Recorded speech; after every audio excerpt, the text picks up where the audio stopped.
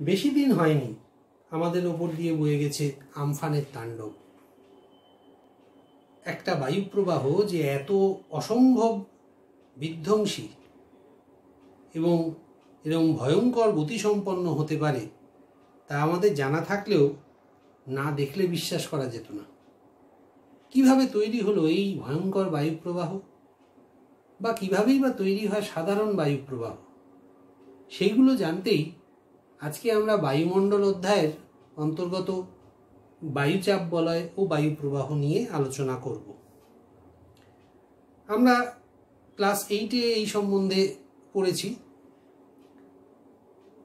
কিন্তু এটা যেহেতু ক্লাস টেন সেই জন্যে এইটের থেকে আরও অনেক বেশি অনেকটা বিশদে আমরা এই নিয়ে পড়াশোনা করব। এই নিয়ে আমাদের টিভি প্রোগ্রামেও আলোচনা হয়েছে। আমরা আজকের অধ্যায়ে জানব যে বায়ুচাপ বলয়গুলি বা কীভাবে তৈরি হয় এবং বিভিন্ন বায়ুপ্রবাহ কীভাবে, কোথা থেকে কেন সৃষ্টি হয়। আজকে আমরা মূলত বায়ুচাপ বলয় এবং নিয়ত বায়ুর সম্পর্ক নিয়ে আলোচনা করব। এবং তার সঙ্গে যে যে বিষয়গুলো সম্পর্কিত রয়েছে, সেইগুলো নিয়েও আমরা আলোচনা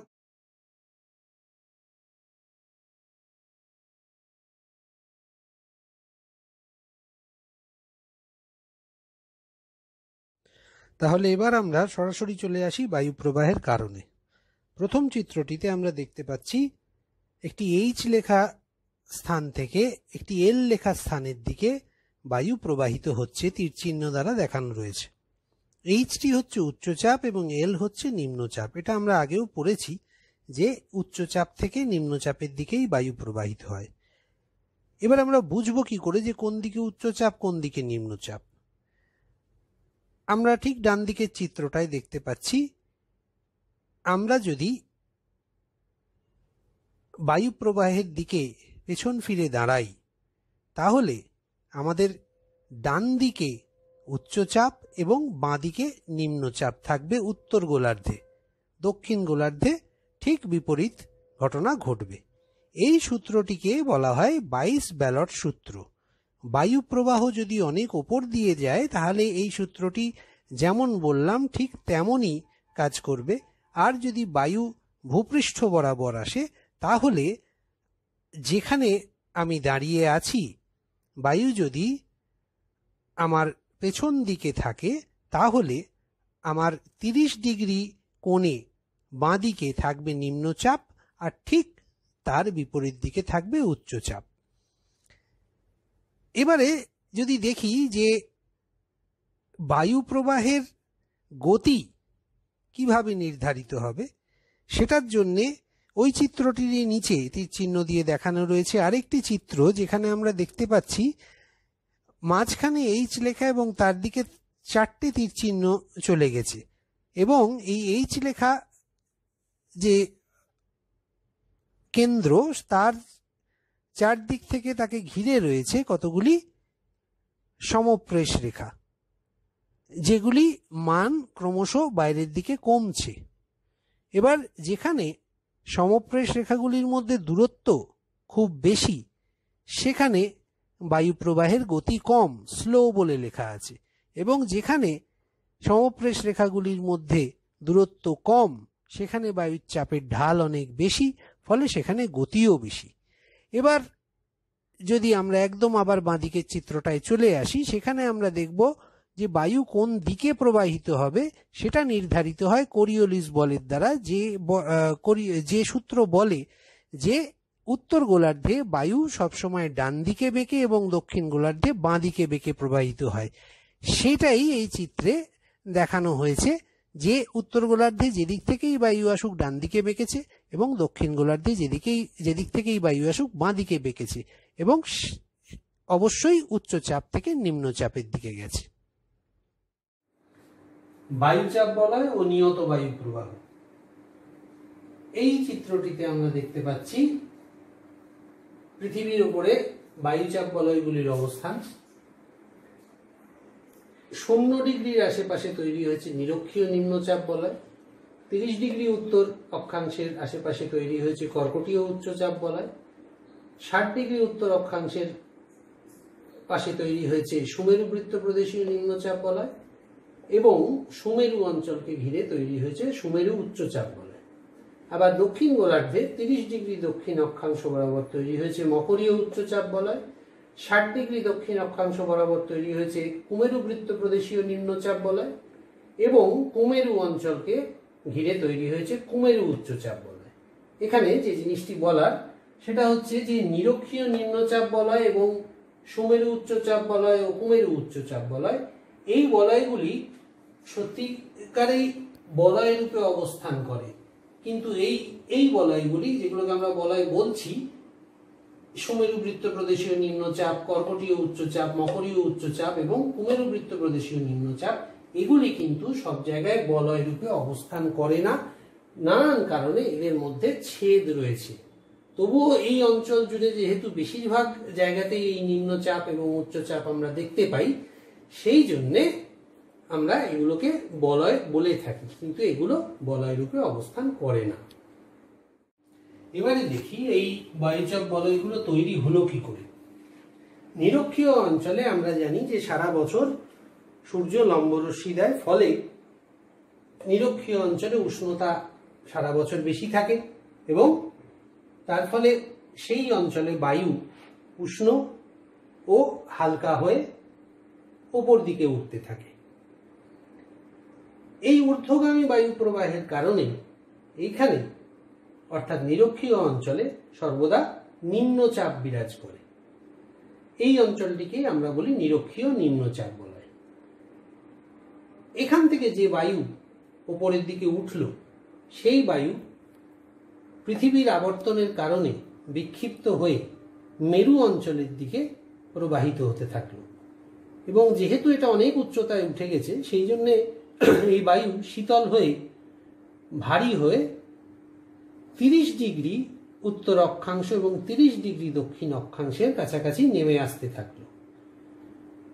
নেমে আসার ফলে কি হলো? যেহেতু এখানে নিম্নগামী বায়ু প্রবাহ বা নিম্নমুখী বায়ু বায়ু প্রবাহ তৈরি হলো, সেই জন্যে এখানে উচ্চচাপ বলয় তৈরি হলো।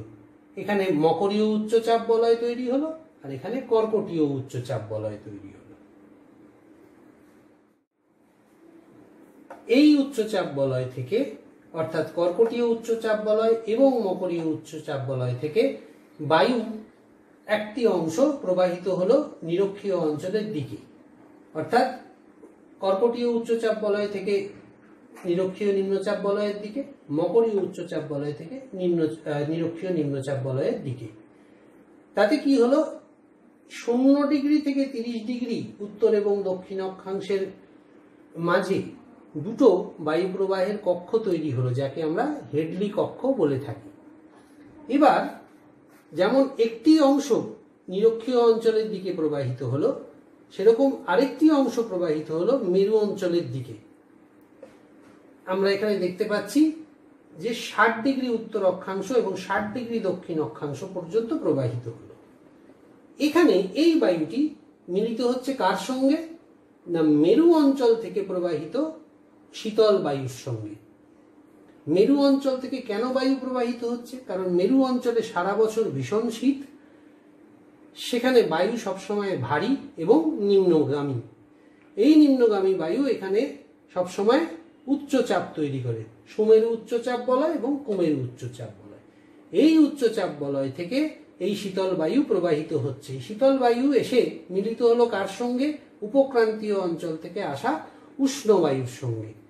এর ফলে, এদের মিলনের ফলে কি হয়?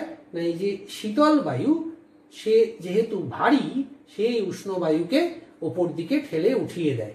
এবং তার ফলে এখানে বায়ু আবার ঊর্ধ্বগামী হয়। এই ঊর্ধ্বগামী যে বায়ু, সেটা এই ষাট ডিগ্রি উত্তর অক্ষাংশ বরাবর নিম্নচাপ তৈরি করে। কুমেরু বৃত্ত প্রদেশীয় নিম্নচাপ, সুমেরু বৃত্ত প্রদেশীয় নিম্নচাপ। এখানে যে কক্ষটা তৈরি হলো এই তিরিশ ডিগ্রি এবং ষাট ডিগ্রি উত্তর এবং দক্ষিণের মধ্যে যে বায়ু প্রবাহের কক্ষটা তৈরি হলো, তাকে আমরা বলি ফেরেল কক্ষ। এবং ষাট ডিগ্রি উত্তর, নব্বই ডিগ্রি উত্তর এবং ষাট ডিগ্রি দক্ষিণ ও নব্বই ডিগ্রি দক্ষিণের মধ্যে যে বায়ু প্রবাহের কক্ষটা তৈরি হলো, তাকে আমরা বলি মেরু কক্ষ।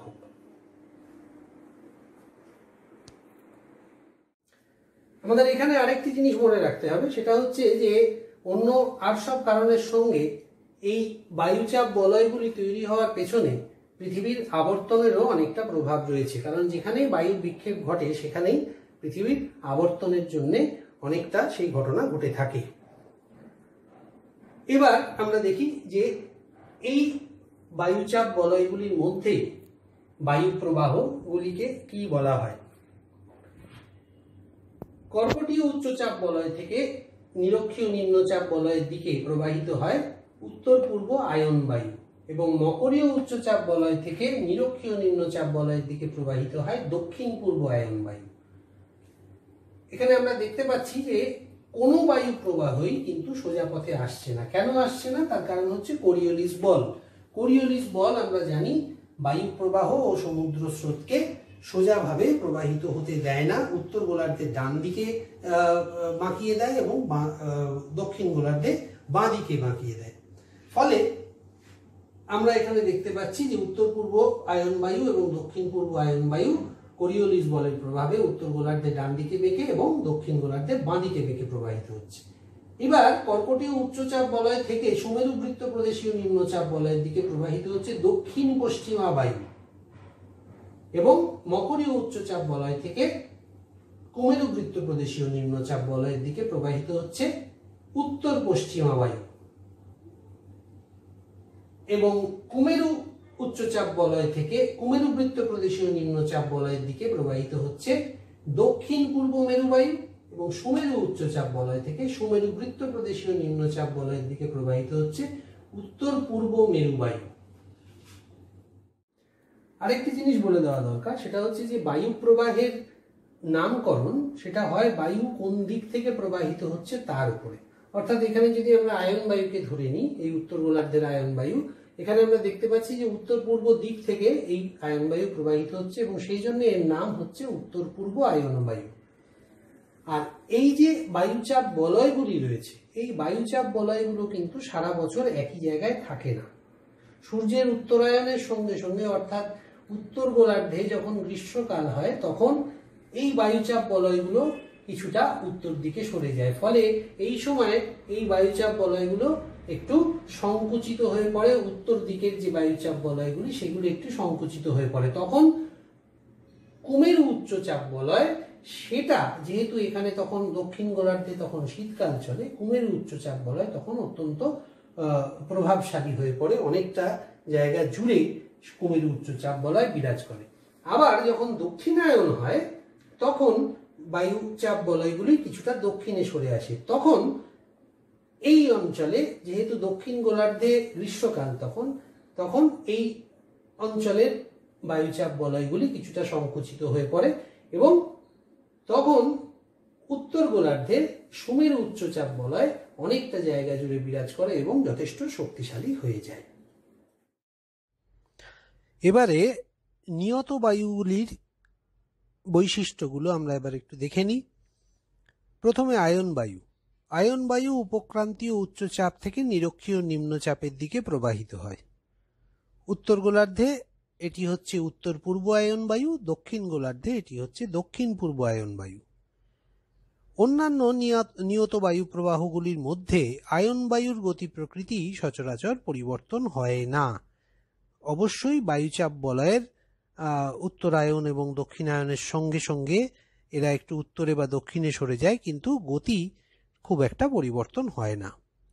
এই বায়ুর প্রভাবেই মহাদেশের পূর্ব দিকে বৃষ্টিপাত হয় এবং পশ্চিম দিকে শুষ্ক থাকে। পূর্ব দিকে এই বায়ু সমুদ্র থেকে ভূমিভাগের দিকে প্রবাহিত হয়, ফলে জলীয় বাষ্প জলীয় বাষ্প থাকে এবং বৃষ্টিপাত হয়। এবং পশ্চিম দিকে মহাদেশ থেকে সমুদ্রের দিকে প্রবাহিত হয়, ফলে সেই বায়ুতে জলীয় বাষ্প থাকে না, সেই বায়ু অত্যন্ত শুষ্ক হয় এবং শুষ্ক হওয়ার ফলে মহাদেশগুলোর পশ্চিম দিকে উষ্ণ মরুভূমি তৈরি হয়েছে, যেমন সাহারা মরুভূমি, যেমন উত্তর আমেরিকার সোনারা, সোনোরান, মোহাভে, দক্ষিণ আমেরিকার আটাকামা, দক্ষিণ আফ্রিকার কালাহারি, নামিব, অস্ট্রেলিয়ার গ্রেট অস্ট্রেলিয়ান ডেজার্ট ইত্যাদি। এই সমস্ত উষ্ণ মরুভূমিগুলোই আমরা দেখতে পাই মহাদেশের পশ্চিম দিকে তৈরি হয়েছে, যার জন্যে অবশ্যই এই শুষ্ক আয়ন বায়ু একটা বড় কারণ। নিরক্ষরেখার কাছে যে অঞ্চলে উত্তর পূর্ব এবং দক্ষিণ পূর্ব আয়ন বায়ু মিলিত হয়, তাকে বলে আন্তঃক্রান্তীয় মিলন অঞ্চল বা ইন্টারট্রপিক্যাল কনভার্জেন্স জোন। এটি পশ্চিমা বায়ু। উপক্রান্তীয় উচ্চচাপ থেকে মেরুবৃত্ত প্রদেশীয় নিম্নচাপের দিকে প্রবাহিত হয়। উত্তর গোলার্ধে মহাদেশ ও মহাসাগরগুলি পাশাপাশি অবস্থান করার ফলে বায়ু, তাপ ও চাপের আনুভূমিক বন্টনে ব্যাপক তারতম্য ঘটে, যা পশ্চিমা বায়ুকে করেছে অনিয়মিত। দক্ষিণ গোলার্ধে চল্লিশ ডিগ্রি থেকে ষাট ডিগ্রি অক্ষাংশের মধ্যে ভূমিভাগ প্রায় নেই। শুধু অবিচ্ছিন্ন জলরাশি, ফলে বায়ুর তাপ ও চাপের আনুভূমিক বন্টনে বিশেষ তারতম্য ঘটে না। বাধাহীনভাবে প্রবাহিত হওয়ার কারণে পশ্চিমা বায়ু এই অঞ্চলে অপ্রতিহত। এই অঞ্চলে তাই একে প্রবল পশ্চিমা বায়ু বলা হয়। চল্লিশ ডিগ্রি অক্ষাংশ সংলগ্ন অঞ্চলে পশ্চিমা বায়ুর নাম গর্জনশীল চল্লিশা, পঞ্চাশ ডিগ্রিতে ক্রোধনমত্র পঞ্চাশ, ষাট ডিগ্রিতে তীক্ষ্ণ চিৎকারকারী ষাট। উষ্ণ পশ্চিমা ও শীতল মেরুবায়ুর মিলনস্থলে নাতিশীতোষ্ণ ঘূর্ণবাদ সৃষ্টি হয়। বায়ুচাপ বলয়ের ঋতুভিত্তিক স্থান পরিবর্তনের কারণে ভূমধ্য সাগরীয় জলবায়ু অঞ্চলে শীতকালে পশ্চিমা বায়ুর প্রভাবে বৃষ্টিপাত হয়। মেরু বায়ু। মেরু উচ্চচাপ থেকে মেরু বৃত্তপ্রদেশীয় নিম্নচাপের দিকে এই বায়ু প্রবাহিত হয়। একে পুবালি মেরু বায়ুও বলা হয়। যেহেতু উত্তর গোলার্ধে, উত্তর পূর্ব দিক থেকে এবং দক্ষিণ গোলার্ধে, দক্ষিণ পূর্ব দিক থেকে প্রবাহিত হয়। অত্যন্ত শীতল এই বায়ু ফলে যে অঞ্চলের উপর দিয়ে প্রবাহিত হয়, সেই অঞ্চলের তাপমাত্রা অনেক হ্রাস পায়। শীতকালে মেরু অঞ্চলের উচ্চচাপ অত্যন্ত গভীর ও প্রসারিত হয়ে পড়ে, ফলে শীতকালে মেরুবায়ুর গতি ও তীব্রতা অনেক বৃদ্ধি পায়। উষ্ণ পশ্চিমা ও শীতল মেরুবায়ুর মিলনস্থলে এই চিত্রটিতে আমরা পৃথিবীর প্রধান মরুভূমিগুলিকে দেখতে পাচ্ছি। ভারতের থর মরুভূমি, ইরানের মরুভূমি, আরবের মরুভূমি, সাহারা মরুভূমি এবং উত্তর আমেরিকার সনরান এবং মহাবে মরুভূমি। এগুলি হচ্ছে উত্তর গোলার্ধের উষ্ণ ক্রান্তীয় মরু অঞ্চল এবং দক্ষিণ গোলার্ধের উষ্ণ ক্রান্তীয় মরু অঞ্চলগুলি হল আটাকামা, নামিব, কালাহারি ও অস্ট্রেলিয়া মরুভূমি। এর মধ্যে আটাকামা দক্ষিণ আমেরিকায় অবস্থিত নামিব কালাহারি আফ্রিকায়। এই মরুভূমিগুলিকে দেখলে আমরা বুঝতে পারি যে এগুলি সব শুষ্ক আয়ন বায়ুর প্রবাহ পথে তৈরি হয়েছে, ফলে এই সব জায়গায় বৃষ্টিপাত হয় না এবং মরুভূমি সৃষ্টি হয়েছে।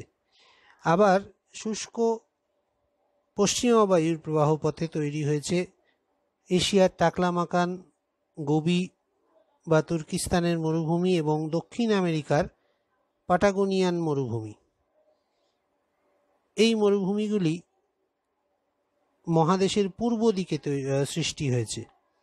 যেমন ক্রান্তীয় উষ্ণ মরুভূমিগুলি মহাদেশের পশ্চিম দিকে সৃষ্টি হয়েছে, এই মরুভূমিগুলি মহাদেশের পূর্ব দিকে সৃষ্টি হয়েছে। কারণ এগুলি শুষ্ক পশ্চিমা বায়ুর প্রভাবে সৃষ্টি হয়েছে।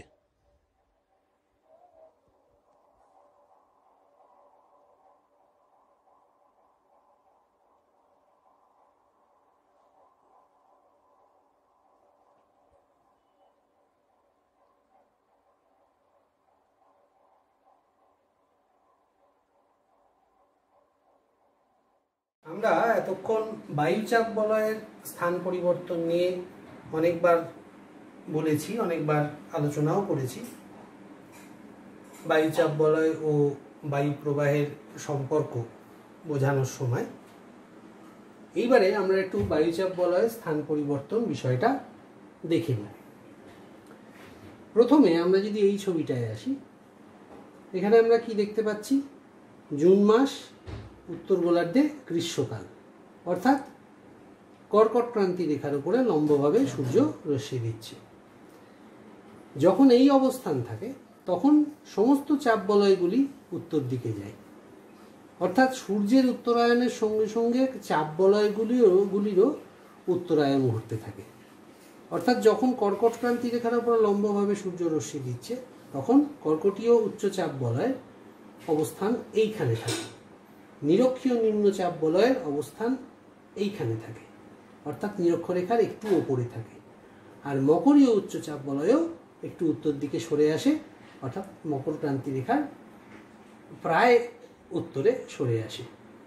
সেই অনুযায়ী বায়ু প্রবাহগুলিও নিয়ত বায়ু প্রবাহ যেগুলো, সেই নিয়ত বায়ু প্রবাহ, অর্থাৎ দক্ষিণ পশ্চিমা বায়ু, উত্তর পূর্ব আয়ন বায়ু, দক্ষিণ পূর্ব আয়ন বায়ু, উত্তর পশ্চিমা বায়ু, এগুলিও স্থান পরিবর্তন করে।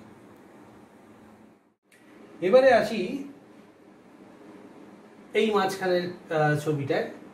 এখানে আমরা দেখতে পাচ্ছি যে এবার আস্তে আস্তে সূর্যের দক্ষিণায়ন হচ্ছে। সূর্যের দক্ষিণায়ন হচ্ছে কীভাবে বুঝলাম?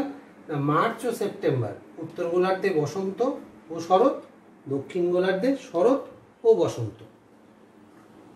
এই সময় কি হচ্ছে? না, নিরক্ষরেখার উপরে সূর্য লম্বভাবে রশ্মি দিচ্ছে।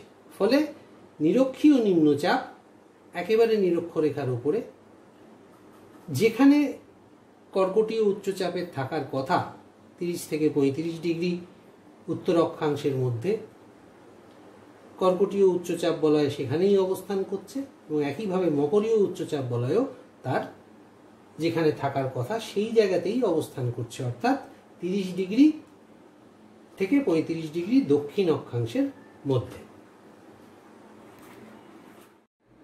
তৃতীয় ছবিটিতে আমরা দেখতে পাচ্ছি যে সাড়ে তেইশ ডিগ্রি দক্ষিণ অক্ষাংশ অর্থাৎ মকর ক্রান্তি রেখার উপরে সূর্য লম্বভাবে রশ্মি দিচ্ছে। ডিসেম্বর দক্ষিণ গোলার্ধে গ্রীষ্মকাল। এই সময় বায়ুচাপ বলয়গুলি দক্ষিণ দিকে সরে আসে এবং সেই অনুযায়ী নিয়ত বায়ু প্রবাহগুলোও দক্ষিণ দিকে সরতে থাকে। এই সময় কর্কটীয় উচ্চচাপ বলয় অনেকটা দক্ষিণে সরে এসছে। তার যা অবস্থান থাকার কথা, তার থেকে অনেকটা দক্ষিণে সরে এসছে। নিরক্ষীয় নিম্নচাপ বলয়ও নিরক্ষরেখা দক্ষিণে চলে এসছে এবং স্বাভাবিকভাবে মকরীয় উচ্চচাপ বলয় সেটাও অনেকটা দক্ষিণে সরে এসছে এবং সেই অনুযায়ী যে নিয়ত বায়ু প্রবাহগুলি, সেগুলিও দক্ষিণ দিকে সরে এসছে। ফলে আমরা কি দেখতে পাচ্ছি? যে সূর্যের উত্তরায়ণের সঙ্গে সঙ্গে বায়ুচাপ বলয়গুলির উত্তরায়ণ উত্তরায়ণ ঘটে। এবং সূর্যের দক্ষিণায়নের সঙ্গে সঙ্গে বায়ুচাপ বলয়গুলিরও দক্ষিণায়ন ঘটে। কাম্য শিখন সামর্থ্য। অর্থাৎ আজকে আমাদের যে ক্লাস হলো, তার থেকে আমরা কোন কোন বিষয়ে জানতে পারলাম, কি কি বিষয়ে আমরা ব্যাখ্যা করতে পারব, বা কোন কোন বিষয়ের মধ্যে সম্পর্ক নির্ধারণ করতে পারব সেগুলোই এখানে তালিকার আকারে দেওয়া রয়েছে। যেমন, বায়ু প্রবাহ কেন হয়? ব্যাখ্যা করতে পারব। বায়ুচাপ বলয় ও নিয়ত বায়ু প্রবাহের মধ্যে সম্পর্ক ব্যাখ্যা করতে পারব। বিভিন্ন বায়ুচাপ বলয়গুলি সৃষ্টির কারণ বুঝতে পারব।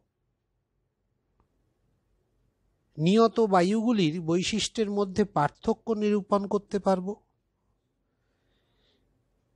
বায়ুচাপ বলয়ে স্থান পরিবর্তন কেন হয় ব্যাখ্যা করতে পারব? বায়ুচাপ বলয়ে স্থান পরিবর্তনের প্রভাবগুলি বুঝতে পারব। আশা করা যায় যে আমরা আজকের ক্লাসের শেষে এই বিষয়গুলি সম্পর্কে একটা সম্যক ধারণা তৈরি করতে পেরেছি, যার থেকে আমরা এগুলি ব্যাখ্যা ও আলোচনা করতে পারব। আজকের ক্লাস আমাদের নিয়ত বায়ু প্রবাহ পর্যন্তই।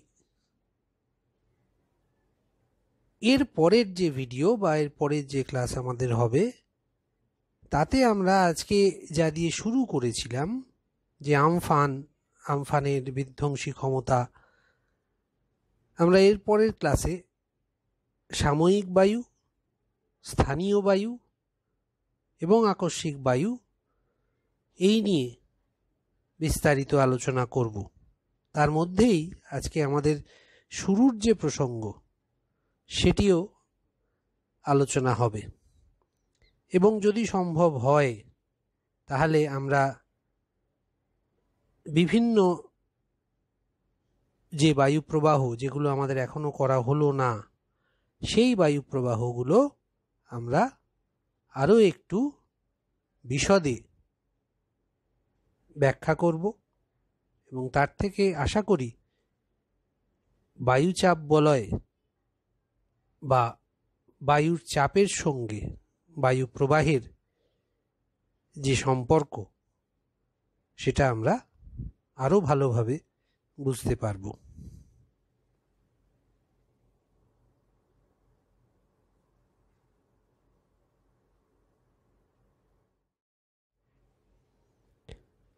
সবশেষে দেখে নিই আজকের প্রশ্নগুলি। বায়ু কেন উচ্চচাপ থেকে নিম্নচাপের দিকে প্রবাহিত হয়? Why wind blows from high pressure to low pressure এটা থ্রি মার্কসের প্রশ্ন। বাইস ব্যালটের সূত্র কি? What is Buys Ballot's law? এটা টু মার্কসের বায়ুচাপ বলয়গুলি নিরবচ্ছিন্ন নয় কেন ব্যাখ্যা করো?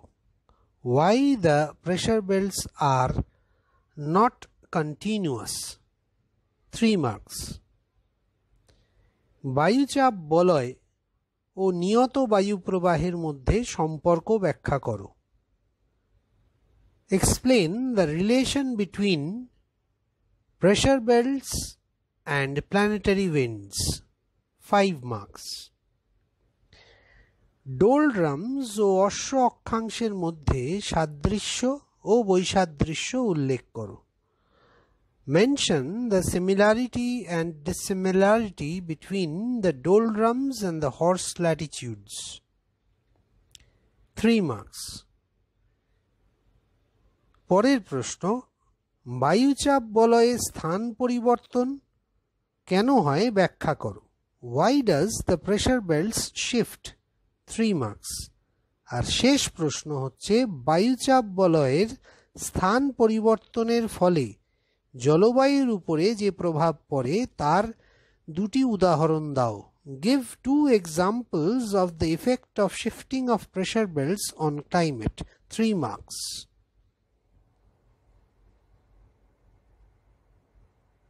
আজকে এই পর্যন্তই আমাদের ক্লাসরুম তোমরা সবাই সুস্থ থেকো, ভালো থেকো।